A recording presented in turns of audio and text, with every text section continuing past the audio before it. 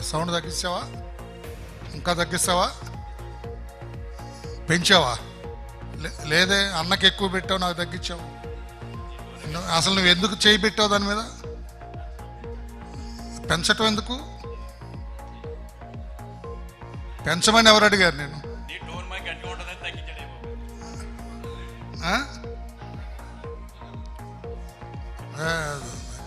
ఆ వాయిస్కి నేను కనెక్ట్ అవుతున్నా నేను. ఇదవుతున్నా. మళ్ళీ తగ్గిస్తే నాకు ఇదైపోతుంది రే నీకు ఫైనల్ వార్నింగ్. నా ప్రెస్ మీట్లో నాదే ఫైనల్.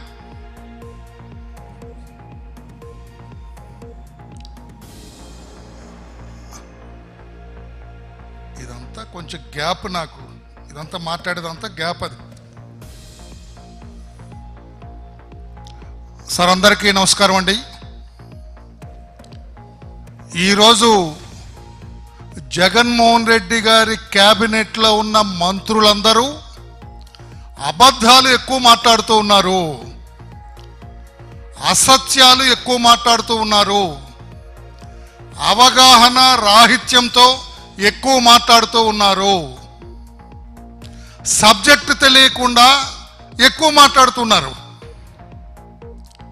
తెలియని సబ్జెక్టు తెలుసుకోవాలన్న ఆలోచన కూడా లేకుండా మాట్లాడుతున్నారు.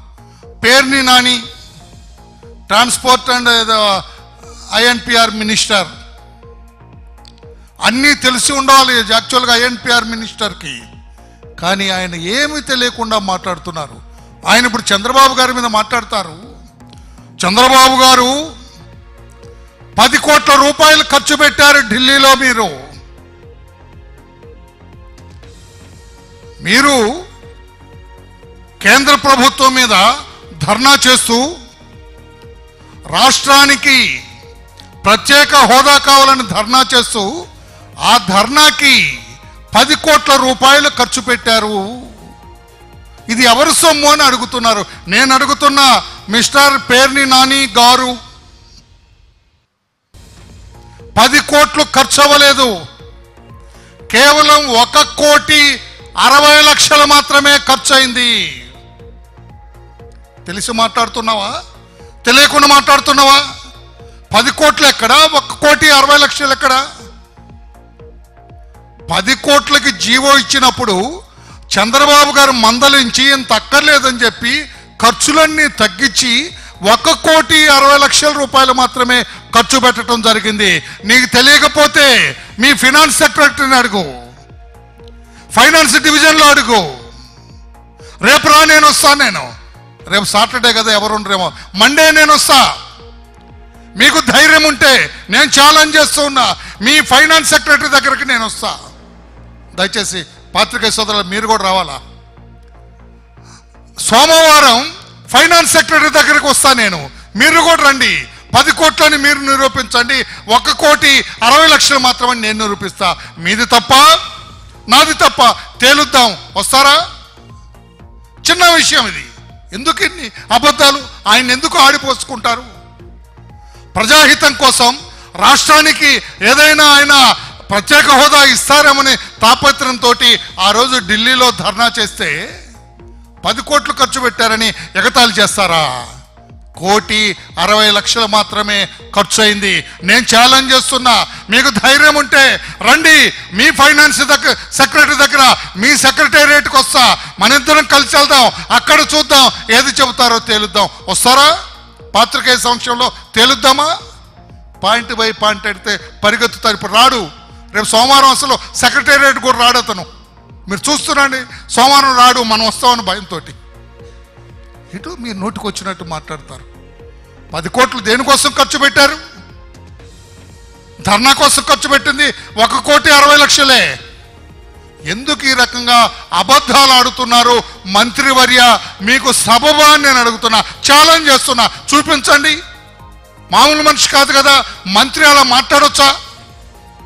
ఈ నాలుకకి ఒక విలువ ఉండాలి కదా మీ మాటకు ఒక విలువ ఉండాలి కదా ఏది విలువ? నువ్వు పది అంటున్నావు నేను ఒకటి అరవై అంటున్నా. తేల్చవలసింది ఎవరు? పాత్రికేయుల సమక్షంలో ఫైనాన్స్ సెక్రటరీ దగ్గర కూర్చుందాం. వస్తారా? ధైర్యం ఉందా? నిలబడతారా? చెప్పండి. మళ్ళీ ప్రెస్ పెట్టి రా వరలరామయ్య చూద్దాంరా అని చెప్పండి. ఆ ధైర్యం లేదు. మీరు మీకు తెలియదేమోనయ్యా? వృధా పెడుతుంది మీరు. పేరుకు రూపాయి జీతం అంటాడు మీ ముఖ్యమంత్రి గారు. పదిహేను కోట్ల రూపాయలు ఆయన క్యాంప్ ఆఫీస్ మీద ఖర్చు పెట్టారు. మంత్రిగా మీకు తెలుసా? పదిహేను కోట్ల రూపాయలు మొత్తం. ఇంట్లో ల్యాబరేటరీస్ బాత్రూమ్లకి నలభై ఎనిమిది లక్షలు ఖర్చు పెట్టారండి. నలభై ఎనిమిది లక్షలు ప్రజలు కూడా వినాలి.